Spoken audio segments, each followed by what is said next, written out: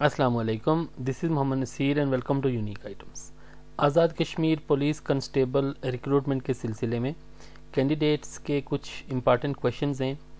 उनके हम जवाब देखेंगे। अगर आप एजे के पुलिस कांस्टेबल के लिए अप्लाई करने जा रहे हैं तो ये वीडियो आपके लिए बहुत इंपॉर्टेंट है। आ, कुछ लोगों ने डिफरेंट फॉरम्स पे मुझे कुछ क्वेश्चंस किए हैं तो उनके हम जवाब देखेंगे। सबसे पहले ये है कि दरख्वास्त फार्म के साथ कौन कौन से डॉक्यूमेंट्स और कितने सेट आपने लगाने हैं। इस हवाले से मैं आपको बताता चलूँ कि ये एडवर्टाइजमेंट में आप देख सकते हैं कि आपने दरख्वास्त फार्म मुकम्मल फिल करके उसके साथ ना असल fees challan N T S copy लगानी है। ये कौन सा फॉर्म है? ये असल fees challan N T S copy ये आप फॉर्म पे देख सकते हैं कि ये लास्ट पे आप देख रहे हैं ना एन टी एस कॉपी तो ये बैंक वाले ले लेंगे आपसे तो एन टी एस कॉपी ये आपने फॉर्म के साथ लगानी है कैंडिडेट्स कॉपी को आपने सेव करके रखना है। तो ये डॉक्यूमेंट्स आपने लगाने, एक तो आपने एनटीएस कॉपी लगानी है।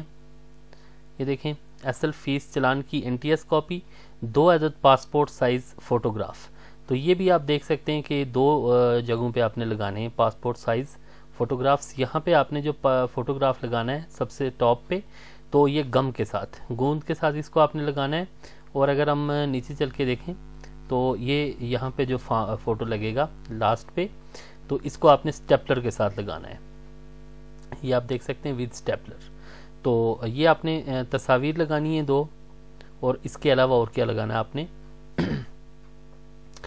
N T S fees challan N T S copy दो दो अदद passport size photograph blue background होना चाहिए इनका, और ये सिक्स मंथ से ज़्यादा ओल्ड नहीं होना चाहिए। शनाख्ती कार्ड ये आपका वैलिड शनाख्ती कार्ड होना चाहिए। डोमिसाइल की मुसदिका नकूल। तो डोमिसाइल की आपकी मुसदिका नकूल होंगी, यानी कि अटेस्टेड कॉपीज़ होंगी। अगर आपके पास डोमिसाइल भी है और बाशिंदा रियासत सर्टिफिकेट भी है तो ये दोनों की आपकी अटेस्टेड कॉपीज़ होंगी।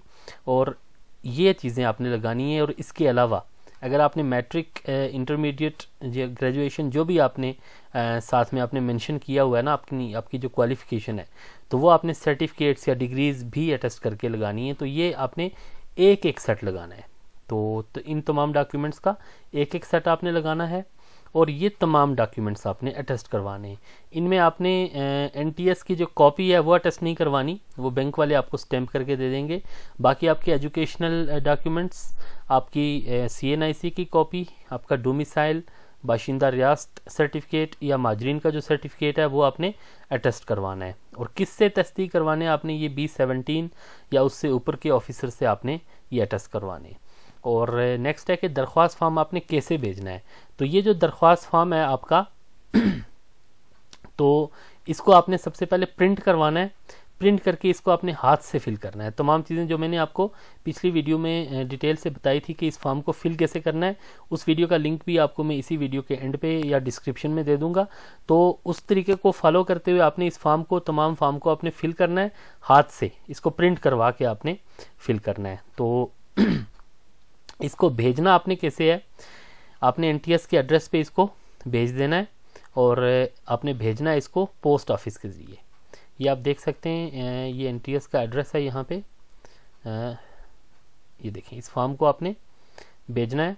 National testing service H Q के police project plot number 96 street number four, sector H eight, one Islamabad. इस एड्रेस पे आपने इसको भेज देना है, पोस्ट ऑफ़िस के ज़रिए और आपने रजिस्ट्री करवानी है। रजिस्टर्ड डाक के ज़रिए आपने डाक खाने के ज़रिए आपने भेजना है।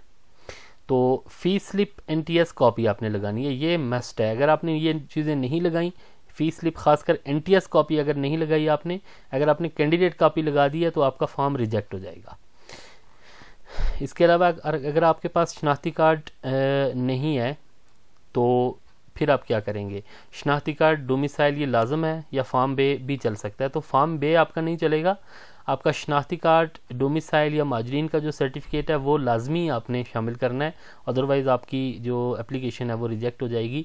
और फॉर्म ऑनलाइन फिल करना है, या हाथ से तो ये मैंने आपको डिटेल से बता दिया है कि फॉर्म को आपने प्रिंट आउट करवा के फिल करना है। और हाथ से आपने लिख के उसको फिल करके आपने एन टी एस के एड्रेस पे भेजना है। तो इसके अलावा अगर मज़ीद कोई आपके क्वेश्चन हों तो आप कमेंट सेक्शन में पूछ सकते हैं। मैं आपको जवाब देने की कोशिश करूँगा। तो डिटेल से मैंने फॉर्म फिल करने का और अप्लाई करने का तरीका जिस वीडियो में बताया हुआ उसका लिंक आपको राइट साइड पे नज़र आ रहा होगा। तो बहुत शुक्रिया देखने के लिए, मज़ीद इस तरह की वीडियोस के लिए और एजे के एन पुलिस कॉन्स्टेबल टेस्ट की तैयारी के लिए आप चैनल के साथ जुड़े रहें, सब्सक्राइब कर लें ताकि मज़ीद इस तरह की वीडियोज़ आपको ईजिली मिलती रहा करें। बहुत शुक्रिया। अल्लाह हाफिज़।